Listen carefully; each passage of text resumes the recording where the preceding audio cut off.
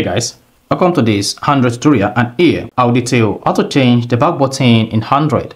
So if you want to change your Android back button here, you want to switch the back button from here to here or the back button from here to here, then this video is going to walk you through how to do this step by step. Mark you, the process to change the back button in your Android phone depends on your Android phone configurations, but the process are almost similar for most of the Android devices except Samsung.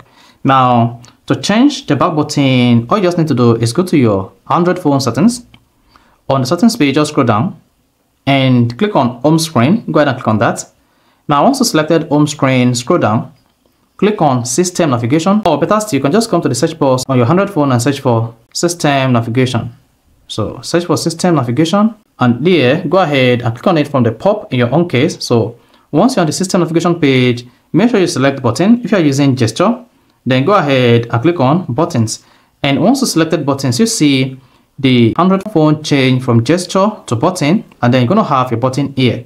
Now, to change the back button arrangement in the Android phone, just come here and switch the back button when you click on more options. If you're using Samsung and on another Android, just come here and click on mirror buttons. Once you click on mirror buttons, this is going to adjust the button's positioning.